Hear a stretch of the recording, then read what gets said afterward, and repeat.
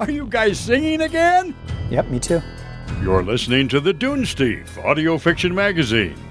And now here's your host, Rish Outfield and Big Anklevich. Hello, everybody, and welcome to the Dunesteef Audio Fiction Magazine. I am Big Anklevich. And I'm Rish Outfield. And thank you for joining us. That's right. Today we are starting our holiday bonanza, our Christmas extravaganza, Right, say, our out of control Christmas special. oh, see, I was hoping you knew a third word that rhymed with bonanza. But Uh, our third stanza. good. I would also have accepted George Costanza. You're killing independent George Jerry! Our Festivus from the Costanzas. That's right. It's a Festivus miracle when you get one Dunesteef episode, but this time around there's going to be many. We decided for some reason last year to, I mean, normally this is a thing that we've been doing for, uh, it's been a few years, I think, where we just write a Christmas story in the month of December. And for some reason last year we decided, why don't we make this a thing on the Dunesteef? And we asked listeners to give us options, uh, prompts for a story. And a bunch of different people submitted a, a couple of different prompts that we could try. And then we chose one of them. And then you and I wrote stories during December based on that. And then we invited everyone else hey, if you want to write a holiday story, based on this prompt, go right ahead. We'll give you to the end of January since we didn't tell you until we did our own Christmas episodes and you didn't have time to write them in December. And we got several people who took us up on it. And so we are here to present those stories to you now. And we're starting early just to make sure that we can manage to get them all in before Christmas comes and goes, because that's more likely than us getting them all in on time, truthfully. Well, see, I'm glad you remember all that because I, I honestly didn't, and I didn't even remember what the prompt was. So you, so we opened it up to the listeners to give us a prompt, and it came from one of them. That's right. Al, one of the stories that we will be sharing uh, was the person who came up with the prompt. Wait, was it me? Um, no, it wasn't you. Oh. It was one of the listeners of the show. And I, yeah, when we decided upon his prompt, I think he felt obligated. like, oh, great. Now I'm to have to write a story. So yeah, we got a, we got a story from him. To, I think it'll probably be our next episode will be the story from the actual person who invented our prompt that all these stories are based on. But yeah, so this is basically the Broken Mirror Christmas event. Oh shoot! Do I have to find that sound effect? Dang. No, No. uh, I mean you can if you want, but I would not be upset if we didn't hear the sound effect every single time the word comes up. Of course, it's all up to you. I know you enjoy that kind of thing, so I just want you to be happy. Well, well, th- what would make me happy right now is if you told me what the prompt was that all of these stories are going to have in common. So all the stories are based on this prompt. You're invited to your girlfriend's slash, boyfriend. family Christmas dinner for the first time. But the meal isn't what you were expecting. That's a really good prompt. Yeah, it's nice and open ended. My uh, 2019 Christmas story followed that prompt, and my 2020 Christmas story followed that prompt.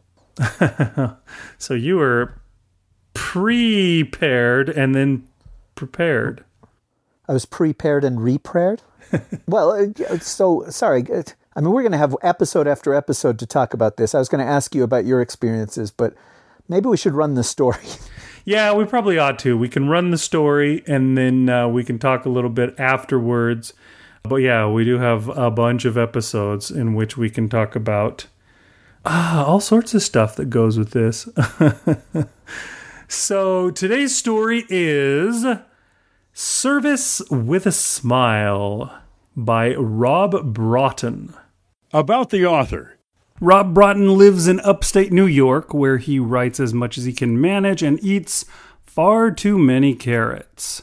Service with a Smile is his first published work, assuming you don't count Nintendo and Hasbro trading cards, which pretty much no one does.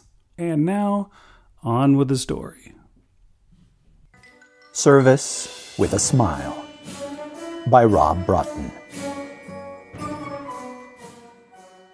I lowered my car window and watched the gas station worker. I had parked under the full service sign, but he was still just sitting there, staring out at Route 206. You can't pump your own gas in New Jersey. That much I knew. Was I supposed to honk? I sighed and turned off my car instead, about to head inside and buy a soda to ask for some gas and directions. Luckily, I didn't have to. As soon as the engine stopped, the employee stood up.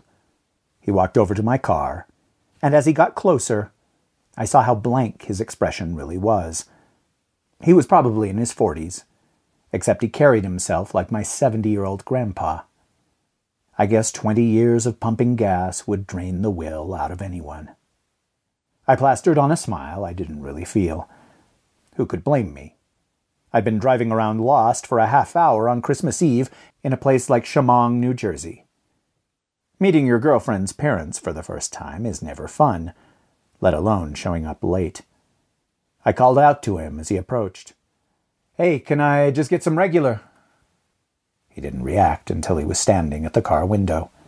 He bent down, and only then made glassy eye contact. How much? he asked, voice monotone. I thought about my bank account before answering. Twenty. Cash or credit? It was more of a robotic statement than a question. I had no idea someone could be that unenthusiastic about gasoline. Credit, please. He took my card without comment and walked back toward the gas tank.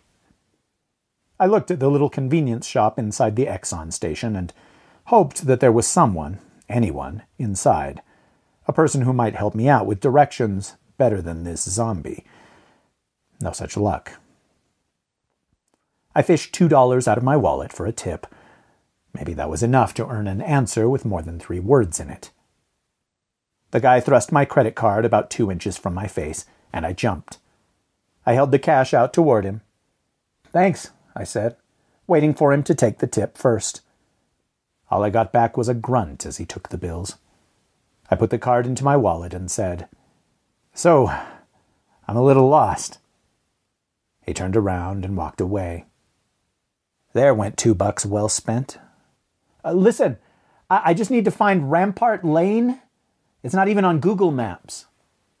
He turned back to me, eyebrows raised. You're looking for the Herbert family? I nodded. Yeah, uh, how'd you know? The guy's face split in a smile that reached all the way up to his eyes. They're the only folks out on Rampart Lane. He briskly walked back to me and squatted down, holding his hand out. Welcome to Shamong, sir. You can call me Reggie. All my friends do. Ah, uh, thanks. I hesitated to touch the calloused hand that had been shoved through my car window. Things had been less weird when he barely tolerated my existence. Worse, I didn't have a clue why he was sucking up to me, unless my girlfriend's parents were big shots around town. Mary was going to Penn Law, but she was smart enough to go there. I'd never wondered if she was going to an Ivy League school because she was a congressman's kid or something like that. I reached out, and Reggie gave my hand a firm shake, his palm scratchy against mine. I'm Tommy. Reggie beamed at me. Nice to meet you. The handshake definitely went on a little longer than strictly necessary. He ended it to point down the road. Now, what you want to do is go south down 206 a mile, take a left on Forked Neck, and then right onto Bard's Bridge. Rampart Lane is at the end. Thanks. That helps a lot. I raised my window, eager to be on my way, and not just because I was running late. Have a good one. You too, Thomas. Reggie said, right before my window closed. Only my grandparents and elementary school teachers called me Thomas anymore. And apparently Reggie, who energetically waved to me as I got back onto Route 206. I rolled my eyes and pretended not to see him so I wouldn't have to wave back. At least Reggie was good at directions. Bard's Bridge Road started with a few houses opposite an empty field, transitioned to empty space, then entered a lightly wooded area with trees on either side of me. Just before a dead end, there was a left turn that led into the trees. Unlike all the other green and white signs in Jersey, Rampart Lane was written in gold lettering on a gray background. Mary's mom had told me one Rampart Lane based on their novelty driveway sign? No wonder Google hadn't helped. Wow, I muttered. I turned onto the so called lane and drove under the shade of the trees, the shadows deepening under the setting sun. I crept along at about five miles per hour, and the longer I went, the more worried I got. A long driveway probably meant an expensive house. I hadn't packed any clothes, and my black jeans and button up blue shirt suddenly didn't seem like enough. I was surprised to find a modest two story home in a clearing large enough to let the last bit of daylight shine down onto it. It was slate gray with white frames around the front door and windows, the driveway curling around into a small circle right in front. I hardly noticed. Most of my attention focused on the amazing lawn. I had only seen hedge art like that in movies, there was a dragon taller than me roaring at a knight with a sword and shield, a unicorn pawing at the air, some sort of fairy queen, and another five or six more. The hedges and grass were still bright green, even this late in December. I followed Mrs. Herbert's instructions, turning into a side driveway that led to a separate garage. I parked on the small patch of asphalt beside the garage, hiding my car so Mary wouldn't see it and ruin the surprise. I've never heard of your girlfriend's parents inviting you to their house for a surprise first meeting for Christmas dinner, but I loved Mary too much to decline. And, to be fair, the look on her face was going to be priceless. I took the bottle of halfway decent white wine out of the back seat, still in its paper bag from the liquor store. When I told my mom the reason I couldn't make it home for Christmas Eve, she'd recommended bringing a gift. Walking toward my girlfriend's childhood home, my palms started to get sweaty. I was glad I had followed her advice. I walked in front of a big bay window on my way to the front door, and I glanced through it for a moment while passing by. Mr. Herbert was sitting at the dining room table, his hands folded in front of him. Even though I definitely walked right across his field of view, he was staring down the driveway like he hadn't noticed at all, and was still waiting for me to show up. The lifeless, weary look on his face was even worse than when I'd first seen Reggie. Whatever Mr. Herbert was thinking about, it looked like he was on the verge of tears, his mouth hanging partially open. How had Mary managed to get out of this town without dying on the inside, too? I stopped at the front door and took a deep breath, holding the bottle of wine to my chest like a shield. Putting another fake smile on my face, I rang the doorbell. I nearly dropped the wine when the door instantly opened. Come on in, Mrs. Herbert said, holding the door wide and gesturing inward. She was wearing a black dress with white polka dots, a pearl necklace, white gloves, and bright red lipstick that matched her heels. My first impression? She was a perfect mom who'd stepped straight out of an ancient TV rerun, if you didn't count the crooked little twist of her nose. Uh, Thanks, Mrs. Herbert. I stepped inside quickly. I'm sorry I'm late. Nonsense. You were just in time. She closed and locked the door, then held her hand out to me, palm down. And please, call me Anne. Okay, Anne. I took her hand and gave it an awkward squeeze, not sure if I was supposed to kiss the back of it or not. Thanks, I lamely repeated instead. Of course. This way, please. She made it sound more like a question than a command, leading me out of the little entryway. We entered the living room, with a dark hardwood floor, a gold and red rug covering most of it, the chairs and couch all in matching deep red velvet. An elderly woman with curly white hair was asleep in one of the chairs, snoring quietly, a purple blanket pulled up to her neck. Anne winked at me and put a finger to her lips to shush me, despite the fact that the loudest thing in the room was her heels tapping on the floor as we moved on. The dining room was dominated by a wood table and chair set, resting on a gold and purple rug atop more hardwood. And who is this strapping young lad? Mr. Herbert asked, rising to his feet.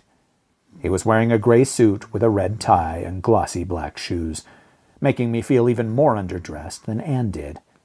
His previous expression was totally gone, replaced by a warm, welcoming grin. This is Thomas Cole, our little princess's sweetheart, Anne said.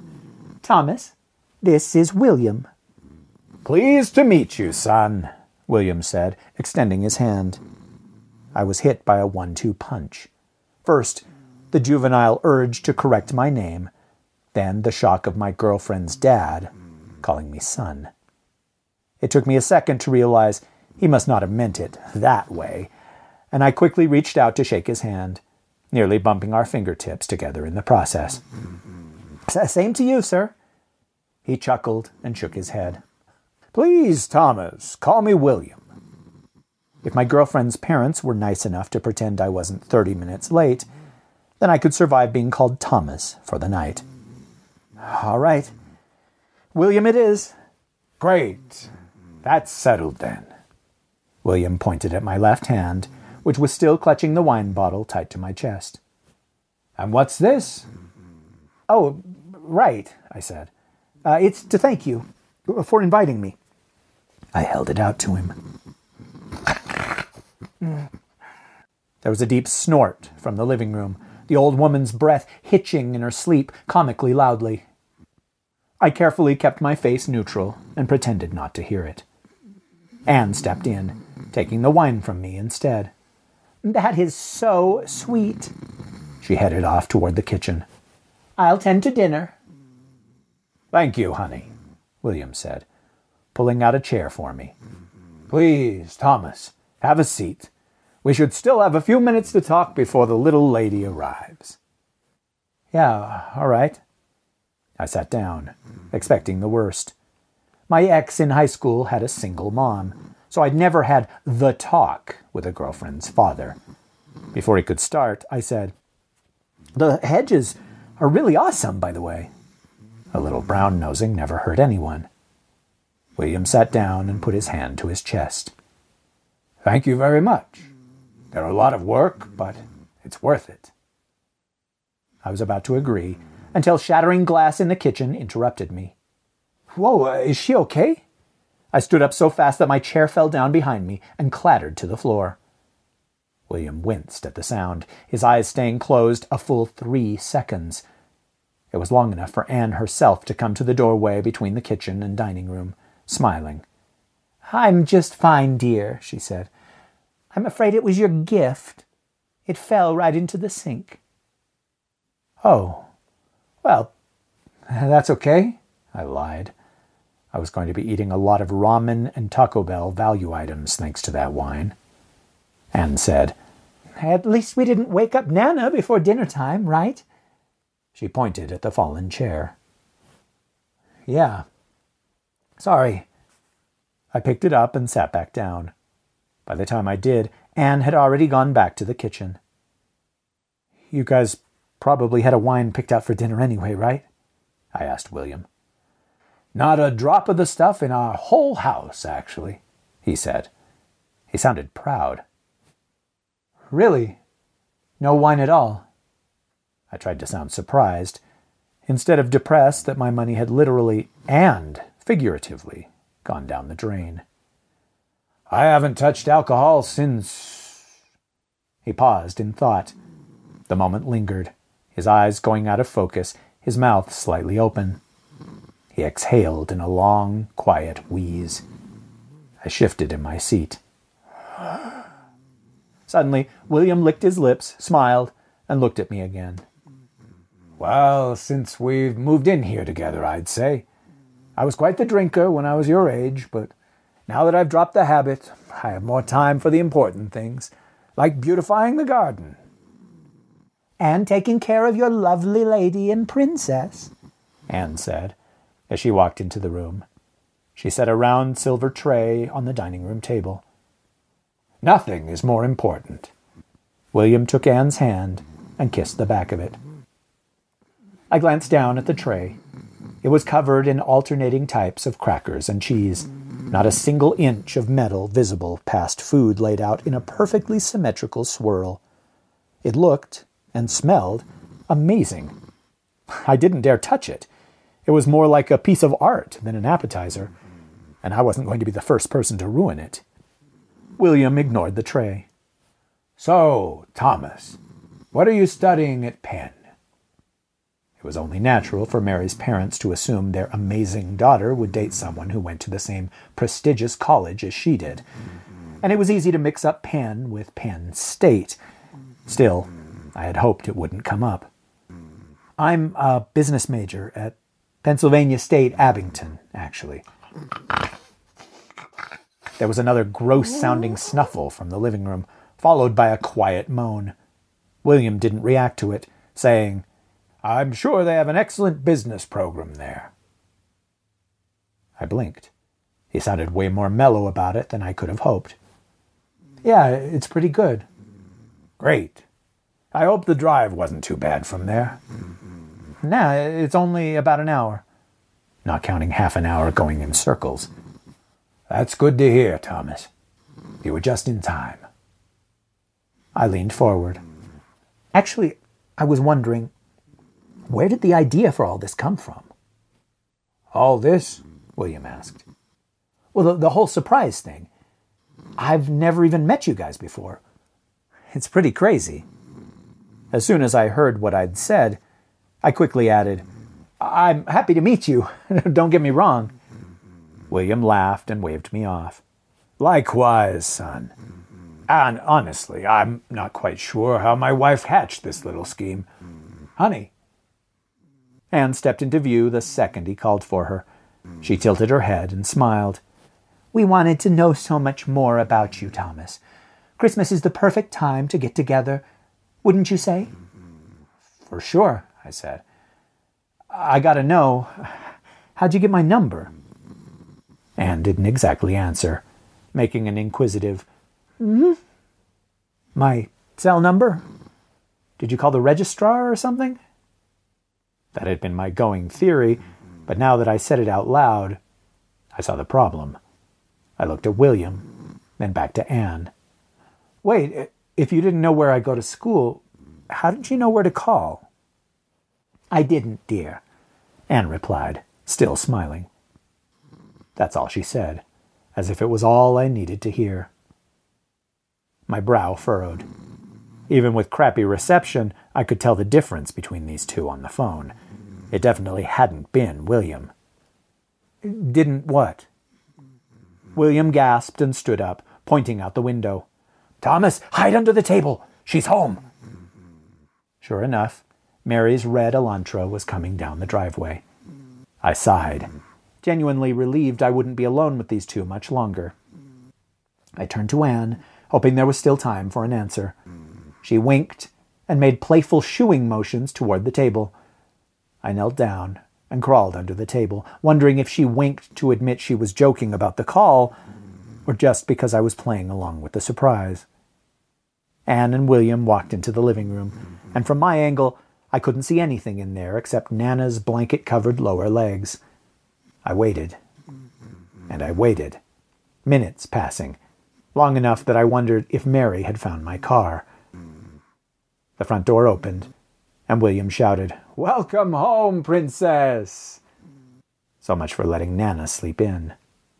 Hi, Daddy. Mary was much quieter than him. Hi, Mom. We're so happy you could make it, Anne said. I had to, Mary said, more solemn than I'd ever heard her before. I promised I wouldn't let you spend holidays alone like this. William chuckled. Speaking of which, we have a surprise for you. They walked into the living room, so I backed up a few inches in case my fingers were showing. A surprise? Mary sounded more wary than excited. As soon as they reached the dining room, I burst out from under the table, raised my arms in the air, and half whispered, half yelled, Surprise! Seeing the family unit standing side by side, William's arm around Mary's shoulders, something struck me. My mom had given me the wine advice, but my dad had said to pay attention because your girlfriend's mom would be a spoiler for who you might be married to in 20 years. Maybe recessive genes had played a trick on this family, because Anne and William both had light brown hair and eyes, close to mine. Mary was blonde, with big blue eyes. Her jaw dropped when she saw me. The shock was as priceless as I'd hoped for about one second. Then her face screwed up, and she stared at her mom. But how? I laughed a little, stepping closer. That's what I'd like to know. William moved to keep one hand on Mary's shoulder and put the other on mine. Now we can have a wonderful dinner together, like a loving family. The scents hit me all at once turkey and mashed potatoes, followed by apple pie. My mouth watered. How had I not noticed how good it smelled before? Mary stepped right up to me, close enough that I put my arms around her for a hug. She shook her head and planted her hands on my chest, keeping us a foot apart. You have to leave town now, Tommy, she hissed. This close, I saw that her eyes were misting up. What? I looked between her and her parents. Anne and William were still smiling widely, even though Mary had been loud enough that they must have heard. Just go, Tommy, please. Mary's hands shook against my chest. I- I'm sorry we didn't talk about this first. I know meeting the parents is a big step. I reached for her hands. She pulled them away. That's not it. You don't get it. Anne leaned in, close to our faces, her smile unfazed by Mary's words. It's dinner time, you lovebirds. She pointed at the table. Thomas, you sit here, and Isabel, your seat is right where it always is. Of all the weirdness of the day, that rocked me more than anything. Wait, what? Isabel. Mary clamped her eyes shut, sending a tear down each cheek. Just go! There was a dry cough from the living room. All three of the Herberts went totally still, Mary's eyes opening at the same time that her parents winced theirs shut. I'm sorry, Mary whispered. I'm sorry, Tommy. I'm so sorry. Why? What for? I put my hand out to her, and she turned away, hugging herself. Anne laughed. My mistake. Dinner will be a while yet. Dinner smelled like it was ready. Until it didn't. Between one breath and the next, the odors were gone. William chuckled in his casual, good natured way. That's okay, honey. It's story time anyway. He put his hand on my back and used the touch to guide me into the living room. When I tried to stop so I could ask Mary what the hell was going on, he kept on pushing. He was way stronger than he looked. Hey, hang on. Someone tell me. Be quiet, everyone. No more bickering. I could barely make out the raspy words. As I turned the corner, I saw the source.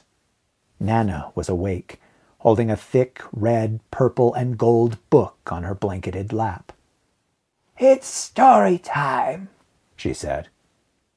Cataracts covered her pupils, making them look permanently huge and white.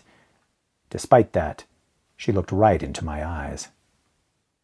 William led me toward the sofa and chairs. I stumbled along with him, looking back over my shoulder. Mary stood at the edge of the room, a hand over her mouth, shaking with sobs. I twisted away and turned to go to her. Two vice grips clamped onto my upper arms, pulled me back, and shoved me down into a red velvet chair. William put his hand down on my shoulder, and when I wrenched against it to try to stand up, all I did was hurt myself. I opened my mouth to shout at him, to tell him to let me go, that he was being a shitty host and a worse father. Not a sound came out, and William just smiled at me and put his finger to his lips. I put a hand on my throat and turned to look at Mary. I couldn't see her, the back of the chair tall enough to block my view. Anne sat down on the couch near Nana's side and crossed her legs, hands on her lap. Once upon a time, Nana began, there was a royal family with a tiny kingdom of their own. Her voice was so rough, it sounded like she was on the verge of a cough with every breath. Bad enough that it made me want to clear my own throat. I couldn't. She slowly opened the first page of the book. It was a pop up book, incredibly well made, with dozens of individual segments in lifelike detail. A scene unfolded before me, and instead of a fairy tale castle, it was inside a suburban living room at night.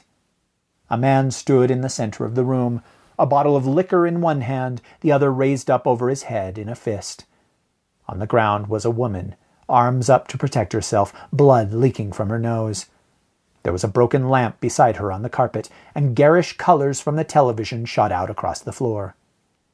A little girl's head alternated hiding behind a couch and peeking out, back and forth, a hand over her mouth in shock. Sir William Herbert, Lady Anne Herbert, and Lady Isabel Herbert happily ruled together, and yet they knew something was missing. Nana stared at me as she spoke, reciting the words from memory. She turned to the next page. I opened my mouth again. It was story time, so nothing came out. They needed a wise matriarch to help guide the family's future, and they welcomed her into their home. The next scene was the same living room. Before it had been dark, with long shadows and muted colors. The second page was bright, the sun shining through the windows, the lamp gone. William now shared the center with Anne, both smiling, wearing a blue suit and green dress in the exact same style as what they were wearing today. Little Isabel was holding Anne's hand, looking up at her parents without a smile of her own. A red velvet chair was in the back of the room, and in it sat Nana, blanket and all. The matron saw that Lady Isabel was very special, surely the prettiest little princess in all the land. Nana's breath was coming easier, voice a bit louder. She pulled a tab on the book, and the paper girl's head grew blonde hair. As wise as she was, the matron's influence was weak except within the borders of Isabel's kingdom. So things were set in motion. The page turned to another dark scene, inside of a high school auditorium.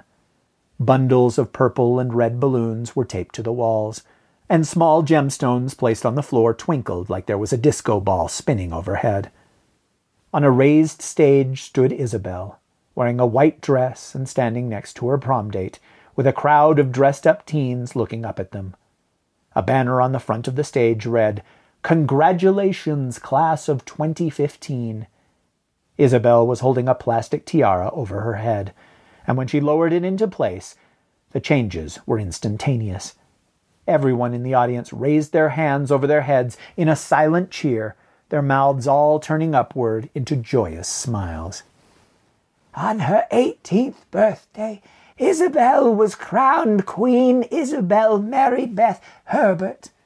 Every soul in the kingdom of Shamong learned the truth. Their proper place was to serve to help Queen Isabel achieve her destiny, as Sir William and Lady Anne had learned before them.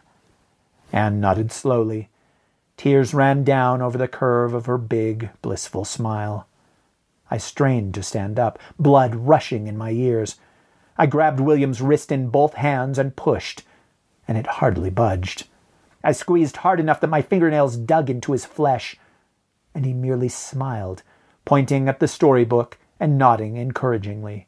as if we were still getting to the good part. Now that Shamong was perfect, the matron had even more to do. Nana's voice was strong now, not a hint of her age present. It may even have been the kind of voice you would confuse for Anne's if you were talking on a cell phone. The page turned, and the setup was similar to the last. Isabel was on a raised stage again, in a grassy field, wearing a purple robe and cap. She was in front of a podium, giving a speech to a group of other students standing over a new banner. Congrats, class of 2019. Her undergraduate graduation. Queen Isabel needed the finest education if she was to rule over all she surveyed. Nana sat taller in the chair, and yet her face was still deeply lined, eyes cataract, fingers shaking as she manipulated the book. She travelled to a renowned school, yet close enough that the matron's influence ensured she was the top of her class. Mary leapt into view, running at Nana with a kitchen knife in her hand. Relax and listen, dear, Nana kindly commanded, without looking away from me. You're just in time for the ending. Mary slowed to a stop, the knife inches from Nana's chest. Mary took one small step backward, then another, visibly shaking as she resisted. Nana continued, unconcerned. As perfect as Isabel would some day be, she was still a youngster, weak to the temptations of love, and yet the matron was both wise and kind, she knew that Queen Isabel would need a handsome king, so why not choose her secret lover? She pulled a tab, and the scene subtly changed. The sign showed the future, the graduating legal class of 2022, and now I was sitting in the front row, frozen mid clap.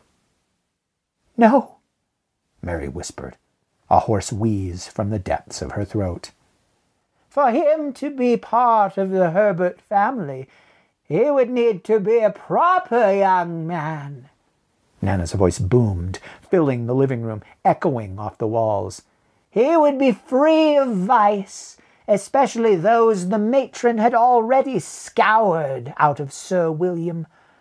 For their perfect fairy tale romance, surely the betrothed must have met at the same prestigious school and they would never bicker, never fret over the small details that plagued mundane relationships, and their children would be the most beautiful in the world.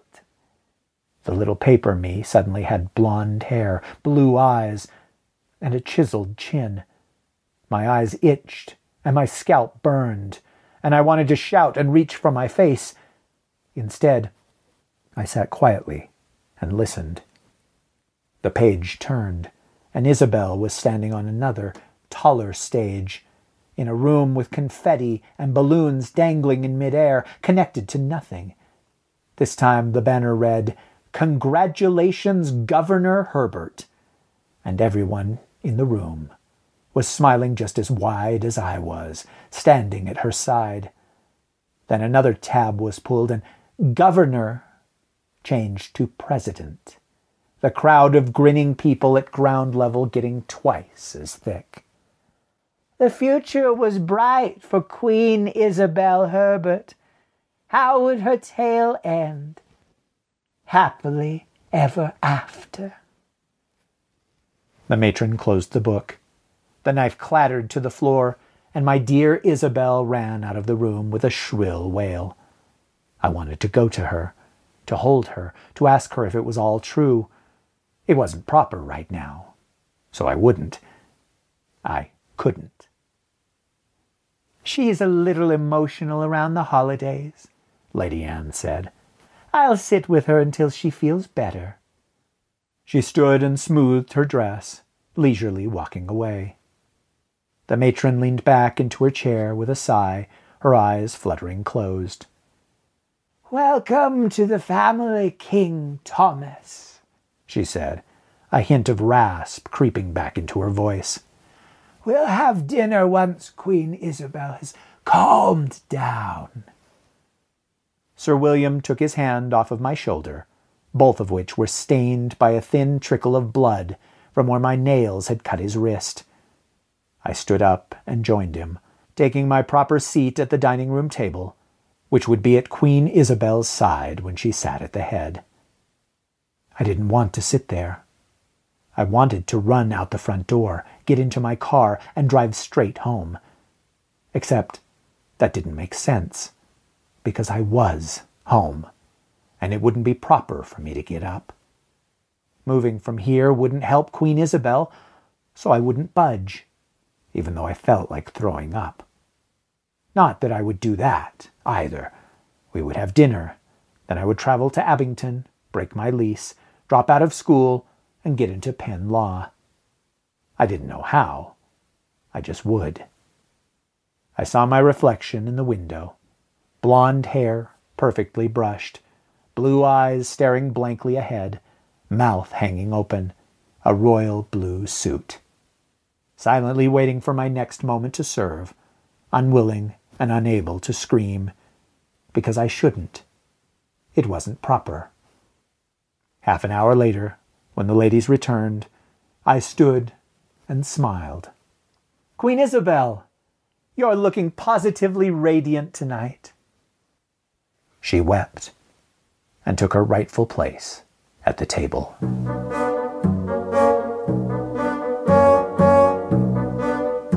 Author's Note This story began with the idea of a pretty unsavory fellow visiting his girlfriend's family for the holidays.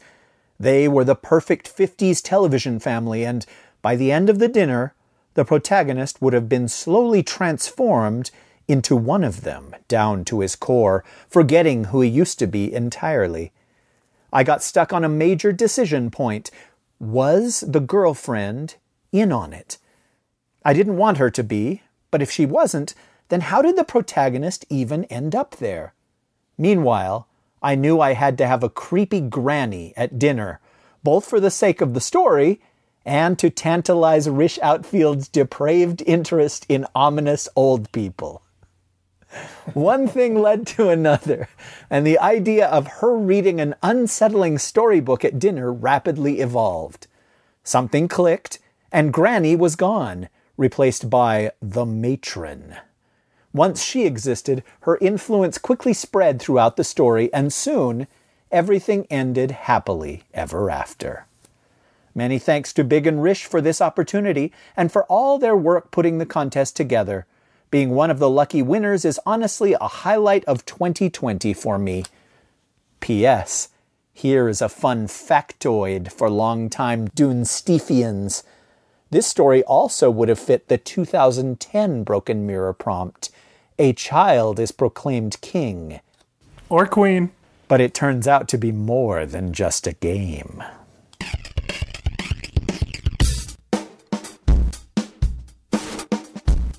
All right, everybody, welcome back. I hope you enjoyed the story. Uh, you know, it's pretty interesting that Rob would say that getting his story on here is a highlight of 2020, considering 2020. Eh, does that really mean anything? That's like saying, hey, I managed to poop today. That's a highlight of 2020. Yeah, so this was a little bit of an interesting story. I, I, do like what he said in his author's note there, where he said that this could also fit in with what was it, 2010? Was that how That's, long ago it was that we did that? That's what he says. Oh, frick, man, we's old. Babu Frik. Yes. What, did you pick up Babu on that? Frick. oh no. Did you pick up on that? when you read the story that it could also have been a child is proclaimed king or queen? Well, unfortunately, he included that in one of his emails when he sent it to us, so I had that already in my head. So, yes. okay. But not, not really because, you know, someone said, "Hey, you know what? This could also be that." And so, unfair advantage, I guess. Big, what was the town where this took place in called? Oh, it was a weird name.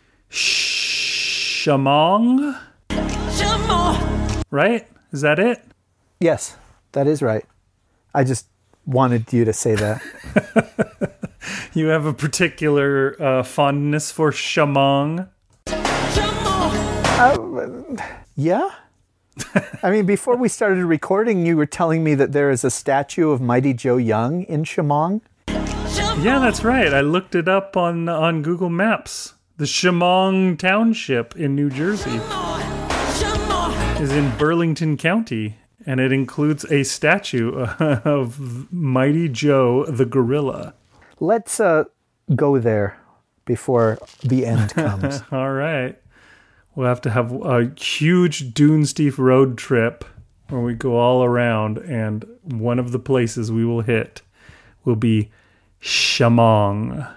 so, uh, before we talk about the story, I wanted to ask you what it was like when you met your in laws for the first time. It seems like that would be a super stressful experience. The, the, the meeting of the in laws, the going and sort of presenting yourself, trying to sell yourself to these strangers. You know, it was I don't know that it was super stressful. They were they were pretty welcoming and I, I you know, I've I've always been relatively comfortable socially. I don't know, it was interesting cuz you know, they lived a they live way out in the country. I believe we must have said this before on the show, but town that my wife grew up in was not a town even. They don't call it a town because you have to have, reach a certain level of population and I believe 1000 people gets you to a town. this place was just a village. And uh yeah, so it was way out there and I, I went to visit her in January in Canada. And so yeah, we were driving down the freeway in the middle of nowhere in the coldest time of the year, which oh man, that was a joy, but you know, they had made a big Sunday dinner. It was really similar to this kind of a thing. I do remember that I'd never had rutabagas before but they had rutabagas for us to have um, at the dinner that day, and, and I had them, and I was surprised at how much I liked them. I thought rutabagas, they, those have got to be gross, or else I would have eaten them by now. I guess you know if people liked rutabagas, why had I never eaten them before? But they were actually pretty darn good. Of course, generally with rutabagas and most vegetables that are similar to rutabagas, you just put tons of butter and salt on them. And when it goes down to it, you cover anything in butter and salt, it's going to be good. so there's that. But yeah, it wasn't too bad. Um, it was a little weird, I have to admit. It's always strange to talk to adults when you're a young person that you don't know, you know what I mean, that aren't already kind of safe or whatever the, the proper term for it is. Yeah, it was it was a little weird, a little uh, unusual, interesting, but it wasn't bad. And I, it, it's funny because uh, my wife later told me how much they hated you. and when this happened, we hadn't really been going out for very long.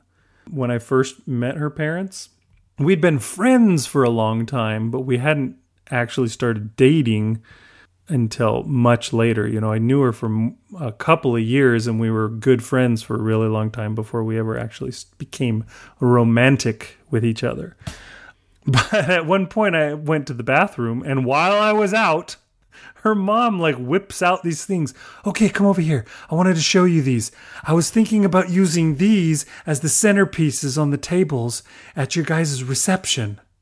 So this is her mom and oh shoot, I don't know how long we've been going out, but it wasn't very long. But apparently, she already knew what was coming before you know I had even decided on anything like that. And when we started dating too, you know, we'd been friends when my wife still lived nearby, but she'd moved back to Canada at this point, and so we'd started dating, and I only would see her every now and then when I could manage to get up to Canada, which was a thousand mile drive, an 18 hour drive to get from where I was to Edmonton, Alberta. Just seemed uh, like a, just a funny thing that she was all ready to uh, uh, assume that we were going to be getting married. They're finally getting married. They're finally getting married. Ick. There's a wedding in Agrabah. I can't believe you know that. I think I only know it from the trailer. Did they or the? I suppose it wasn't really a trailer. The the uh, Commercial. commercial. for it that they would put on at the start of VHS tapes that you had to play your way through to watch whatever you actually bought to see. Um, but yeah, I don't know. It wasn't. It wasn't nearly as stressful uh, for me, truthfully, as you know people tend to make it out to be. But yeah, I mean, my my wife's parents are good folks, so you know, I guess it all depends on what the family is like. If you're coming to meet the parents and there's, you know, the matron who is controlling the entire township of Shamong using her mental powers or her witchcraft or whatever. What do you think it was? Witchcraft? Witchcraft! yeah, I, I, I think it was witchcraft. wasn't just uh, Professor X powers. I guess it couldn't just be Professor X powers because uh, she also made his hair turned blonde and his eyes turned blue and stuff, right? So yeah, did you did you enjoy doing the uh, the old lady? rephrase, please. Did you enjoy voicing the old lady? Well, sure. Yeah, I, I always enjoy doing. See, I almost said old women. Words that will come back to haunt me, right? Rephrase, please. Yeah, that's one of my favorite things to voice, or the you know woman called witch things. Not which. Which.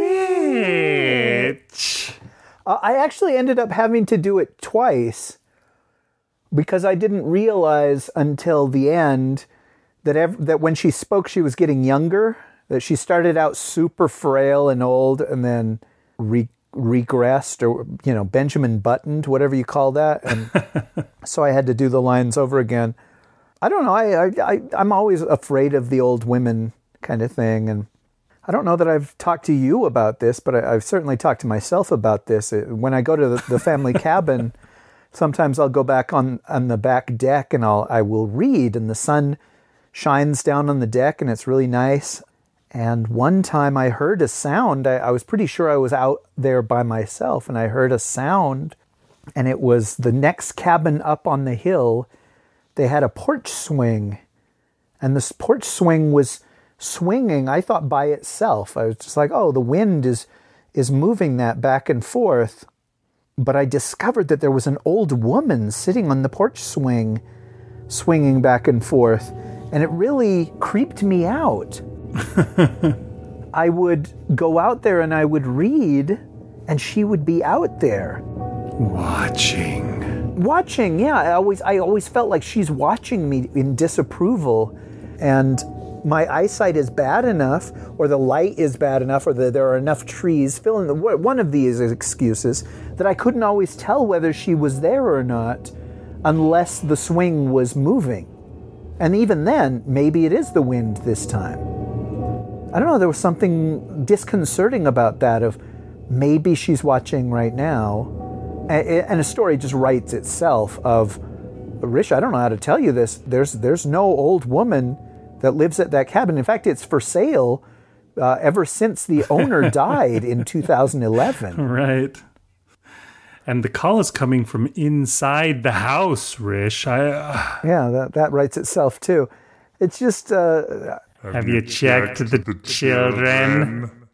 I don't know. Everybody has their their thing, and I'm sure there are people that have mocked you for your fear of cockroaches. But I understand, uh, and I, it's rare that somebody will mock me for my fear of old women. But it has been done. You know, there's some people that I, I just don't get that. There's nothing less threatening than an old lady. but Rob Broughton begs to differ in this story. Do you really think there's somebody that might mock me for being afraid of cockroaches? Is there such a thing as a person who likes cockroaches? yeah, there are. There are people that buy them at pet stores as pets, not to feed to something else, but to have as pets. Not to not to feed to something else, but to feed to themselves. Oh no. I remember uh, hearing a story back when I was uh, living in South America that they had had a contest where they had people eating cockroaches. And the contest was who could eat the most cockroaches. And supposedly, these cockroaches were raised in a clean environment, so they weren't, you know, filthy and filled with bacteria and disease and so forth. But from what I heard, the contest ended when people were all vomiting all over the place because the cockroaches had made them sick. So I don't know if they really were raised in a clean environment, but I, I don't think I could do that. You know that like how they would do that on Fear Factor Yeah. and stuff like that, where they would make you eat some nasty insect or something like that, or like worms or Yeah, I think that was the whole point of that show was what can we make people eat? Yeah. Uh, I couldn't do that. I mean, there's certain things that I've tried. I, I, I probably have said on here before that I ate a cockroach brownie one time. Just Wait, what? Oh, sorry, not a cockroach brownie. That would let me let me start over. I ate a cricket brownie one time. Uh, It's one of those things every now and then when you work in news, things will just show up in the newsroom. I think our goofy morning reporter had gone somewhere for the morning show where they offer cricket brownies and I think he'd eaten some of them on air and then he also brought some of them back to the station and you could try them out if you wanted to. They were just sitting there in the break room. Enjoy a cricket brownie. And I was just like, uh, I could do a bite, right? And then I could say that I've eaten a cricket before. And so I did it. And, you know, it wasn't, I mean, it was in a brownie, so it wasn't that bad. Uh, I, I want to say that the basically the crickets were the flour that was used in the brownie, which is kind of gross when you think about it. But and it was a little crunchy, I have to admit, a little uh, almost like it was made of sand or something like that. But uh, I managed to eat it. But I could not do the same with cockroaches. And that would just be too much. I could probably eat most insects, but a cockroach I could not do it with. I don't know if I could do worms either, though. Worms are kind of, they're a little icky. Do you think you could eat a worm? Yeah, sure. Yeah? Pre- presented with the option of anthrax ripple or cockroach cluster. I would have to go with anthrax. okay. yeah, I don't know, man. It's funny. I think you have told me that story, the the cricket one, but I blocked it out. it's one of those where I, I had to go to therapy to unremember it. And uh, as soon as we're done recording, I will make another appointment. You'll be heading back to therapy again, saying, damn it, I wish you'd stop telling that story. This is getting costly. I don't know if I could eat a worm either. You know, um, I don't know if you guys did this when you were in high school, but when I was in high school in our biology class, we had to dissect a worm. No, we didn't. and these worms they were preserved you know so that they could be kept around for a long time so they were in i don't know formaldehyde or something like that and there was a guy i want to say his name was chad i can't remember his last name started with a c as well but anyways there was a guy who is sitting there as as people are starting to dissect the worm and he goes hey how much would you guys give me if I ate this? this is this is a story that I heard. My friend was in this class. I was not in this class. I was in a separate class. I don't think anybody even took him up on it. I don't think anybody even said, "Yeah, I'll give you 10 bucks or something." I think they're all like, Nothing. You're not going to eat that. And he's like, Yeah, I would. What do you give me? I'm not going to give you nothing because you're not going to eat it. So who cares? And so he friggin' ate the thing. He put the worm that was in like formaldehyde preservatives or whatever the heck, and he put it in his mouth and he chewed it up. My friend was telling me you could see the worm just like out, hanging halfway out of his mouth as he's like slurping it up. Hmm. Oh my god! And what I mean, like formaldehyde's like really bad for you, isn't it? but just the idea of eating worms makes me think of that. so I don't think I could do that either. Did this all come from you eating rutabaga for the first time at your future in-laws house? Where No, I don't think so. I think we we I think we were on something else. I don't know how I got onto the subject of eating gross things. Yeah, I guess it was just me being afraid of old ladies and you being afraid of cockroaches. I I suppose. Oh yes, and me being afraid of cockroaches. We haven't done this show in so long. Uh, in case people are just joining us, every episode gets off on tangents like this yep, it's pretty that standard. have nothing to do with the story we just shared. Sorry, Rob. But when your story leads you to something great, like the eating of uh, cockroaches and worms, you just run with it, man. That's what you do. Well, shoot. What? Yeah, let's talk about something about the story. Okay, so in his author's note, he talked a little bit about the happy ending. Because on the surface, it does have a happy ending, an extremely, and they all lived happily ever after ending. But I think it's the fact that it is an involuntary happy ending that makes it disturbing. We we prize our free will almost above anything. Our freedom to go where we want to go, say what we want to say, or be who we want to be. And the idea of a being that's powerful enough to take that away from you, that's something that has always been feared in literature, in religion, in mythology. You know, how many Star Trek episodes had Kirk and Spock go to a planet where somebody with their minds could make them do whatever he wanted? And essentially, that's what's happening here. She transforms these characters into what she wants for the, the story like the whole town. That, that I love that idea of people just being mopey or surly or just regular folks, and then when the matron's influence hits them, suddenly they're bright and enthusiastic and excited because she's making them be that way. She's she's puppeteering them.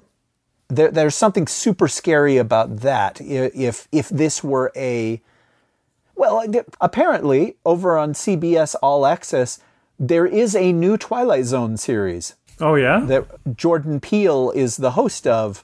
Oh okay. I think I have seen something about that. This would make a perfect episode of a Twilight Zone, of new, the new Twilight Zone. That, that's that's among the highest compliment I can give you, Rob. Is it's the proper length for a Twilight Zone. It's got this the right like three act structure of a Twilight Zone, and then it has that punch you in the stomach ending that a Twilight Zone has. And yeah, it just uh, if I had any influence in the film business at all, I would I would at least send them this story to consider. But uh, but you know what I mean that the, the that it's scary that he notices this stuff is weird, but the scariest thing is when it happens to him. Yeah, when all of a sudden his free will is gone and he's just like, but this isn't what I want. This will not make me happy. This will only make you. Why do you think that the matron wants that in the first place? Why does she put her will into making the perfect family out of this other family and instead of herself? That's uh, an interesting thing. You know, maybe somebody who just just somebody who forces somebody else to be happy. You know what I mean? Sure. Like, I am going to force you to have the perfect life, the life that everyone dreams of, or whatever thing. It's also kind of interesting because, like, sometimes things can be handed to you. You know what I mean? There, are, there are things out there. I guess maybe the lottery could be one of those kind of things. Or, uh, like, you know, as a writer, like we could use Joe Hill as an example. You know, Joe Hill is the son of Stephen King. So his name is not really Joe Hill, it's Joe King, but he changed his name when he wanted to become a writer just so that he could actually earn his place in writerdom, writerhood, writer sphere. Circles. because he wanted to make sure that he really was a good writer and that he deserved what he got. And there's plenty of people who will talk like, "Oh, what if you found a genie in a bottle? What would your three wishes be?" People like, "Well, I would wish that I was the greatest writer ever and that I could sell all my books." In the end, though, you think that would make you happy, or would you just be like, "Uh, well, I didn't do this. This is the genie writing the books. I'm not actually, you know, myself a good book writer. And in the end, you'll be like, I'm worthless still, even though I can do this. I don't know. I suppose it depends, you know, on what matters most to you and what I guess what comes with it. Maybe I don't know. Maybe you're just like, yeah, well, who cares? I'm in the lap of luxury, and I can I can have anything that I want, or something like that. I don't care if I actually earned it or not, or if I'm actually worthwhile. Like I'm just gonna live a life of hedonism. That's gonna be just fine for me. Or you know, will you just be like, ah, oh, geez, man, I I've earned nothing that I have in my life. My life is worthless you know, you wind up jumping off a bridge or something someday because you feel worthless because you you didn't actually earn the things that you uh, have. That seems like basically what's going on here. You know what I mean? And it's a it's a common thing in fiction. You know that that whole trope of you know having to earn your keep, earn what you want. You know, you can't just get it. Be careful what you wish for, for you may just get it. That kind of thing. Well, see, I was thinking that sounded like a Twilight Zone too. You know, the three wishes is everything great, but it turns out not to be great. It it starts to eat you up inside. Uh, that sounds like a broken mirror prompt as well. yeah. Uh, you know, a genie gives someone three wishes only to find out that it's not what it's cracked up to be. That just seems like a, a, a really fun. Like I would love to write a story about that too. I, the writer who's you know I wish to be the next J.K. Rowling or what or you know what I mean, the, the super super super popular writer. But yeah, that idea that I didn't get here on my own. I didn't earn this. The genie did all this stuff. I'm a fraud. I'm no better than James Patterson. How could you? I live with myself.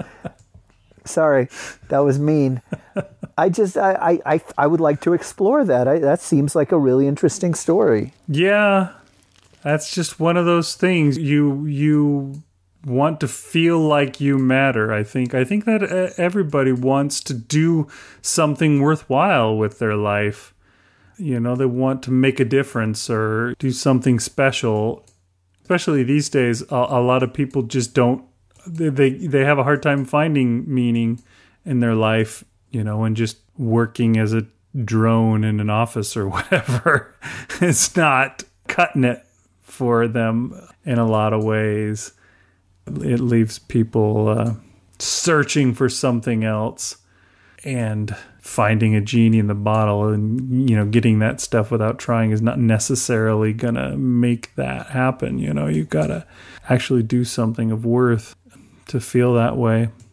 And it is it is an interesting concept for sure. Well i want to thank rob for sending us this story and giving us something to talk about. Like an hour ago you asked me about what what does the what does the witch sorry what does the matron get out of all of this. And, uh, you know, she played with dolls when she was little and liked controlling them and running their lives. And she never outgrew that. Yeah, there you She go. had the ability to turn people into dolls. And uh, that control, that uh, I want everything to be perfect kind of thing. I, I, I love that the main character went to a lesser school, right? And he feels embarrassed about that. That they automatically, what was the name of the school that they think that he went to? Penn instead of Penn uh, uh, State. yeah, the girl goes to Penn, which is an Ivy League school. He goes to Penn State, not even Penn State, Penn State, which I think is, you know, the one that we all think of when because of their football team. But I think Penn State is like a system where they have various campuses, kind of like California has the University of California at Los Angeles, University of California at Davis, etc and they also have the CSU at all the different places. I think that what where does he say he goes? The University of Pennsylvania, He goes to Pennsylvania State Abington. Pennsylvania State Abington. But I, I yeah, they, they assume he goes to this Ivy League school and he disabuses them of that. And then, you know, basically with a snap of the fingers, now he's going to have to get into that school because that's the I, that's the perfect life. they both went to this school and it's just the the path that the matron wanted them to go on to fit her idea of perfection. I don't know that it's it's super dark in a Twilight Zone sort of way.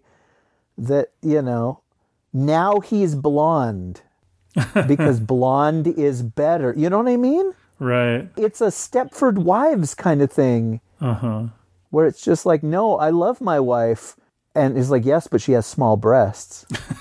no, I love, I love my wife. Yeah, but wouldn't you rather they be large?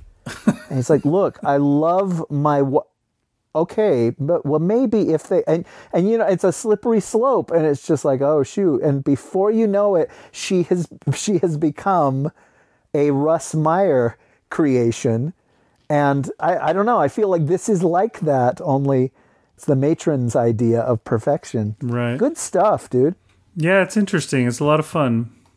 But yeah, thanks a lot, Rob, for uh, sending the story out to us and for participating in our little contest or event or extravaganza, bonanza, third stanza, George Costanza. George Costanza, king of the idiots. Uh, it's been a lot of fun. Um, I think it's time to call this one. It's getting a little late, so we'll uh, we'll go ahead and bring it into today's episode. But don't don't you worry, don't you fret your little head over that because we'll be back soon. It's not going to be six more months before you get the next episode. Yeah, we got another one coming up real soon, and many more along with it. All right. Well, thanks for listening, everybody. We will catch you again next time. We'll catch you again very soon. I have been not Rish Outfield, but Rish Outfield. And I have been not Big Anklevich, but Chet Anklevich. thanks for listening, everybody. We'll see you next time. The Dunesteef Audio Fiction Magazine is published under a Creative Commons Attribution, Non Commercial, No Derivatives license. This means that you can share the Dunesteef with anyone you'd like, but you can't sell or change the files. Thanks for listening to The Dunesteef. Good night. Take two. So today's story is Service with a Smile by Rob Broughton. About the author. Rob Broughton loves to kill. Oh, Tell us how you really feel. well, that's nice. A genie gives someone three wishes, but they turn out to. What's the opposite of a blessing in disguise? But it turns out the wishes aren't what they were expecting. yeah, but you, you know what I mean. I, I want him to say that it's yeah, no. the opposite of a blessing in disguise. Um, okay. Why do don't you, you- go ahead and read that, and then we'll do the post story stuff. Sorry, did you say I'll just go ahead and read it, or you want me to? I said, why don't you go ahead and read? it? I don't have it up, so I don't know what it says. You're having trouble getting it up. Yeah, that's unfortunately the way it goes. The older you get. Okay. No, yeah, I was, I was, you know, just, I was slowly circling the drain, getting closer and closer. Indeed. Well, I've I've had forgotten that we need to keep these short if we're going to put out a ton, but December is the time when we'll really be struggling, right? Yeah, we can keep them shorter as they go too. It's uh, not a big whoop. Yeah, I, I was that. wa- That was one thing I was thinking about talking about on the, was the title "Service with a Smile." Seems like a weird title, but I guess not necessarily. I mean, it does at least give you the uh the like introing it, you know, because he goes to the gas station first, and you get the full serve, and and the guy seems sullen and then all of a sudden he smiles and then you go to the house and i guess basically all the people are serving the old lady in the end. So uh, the title works.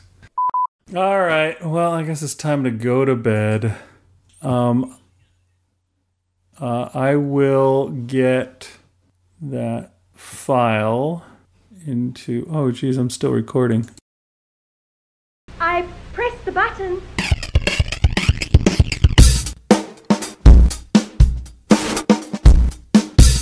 You're listening to the Dunesteef Audio Fiction Magazine.